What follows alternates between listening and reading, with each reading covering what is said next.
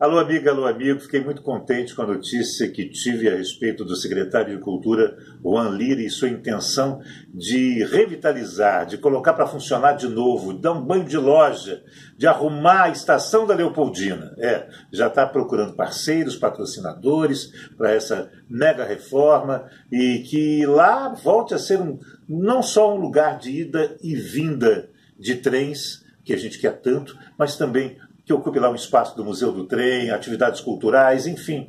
Um lugar tão bonito e com tanto espaço e com tanta história não pode ficar largado, caindo aos pedaços, literalmente, como está a Estação Leopoldina. E outros lugares mais, que seja a primeira de muitas iniciativas para que se mexa nesse acervo, nesse patrimônio cultural do Rio de Janeiro, abandonado em sua grande maioria. Tenho esperança. Museu da Quinta, Estação da Leopoldina, tudo funcionando bem, como é a vocação do Rio, a vocação de atração, de turismo e de cultura. E está falado.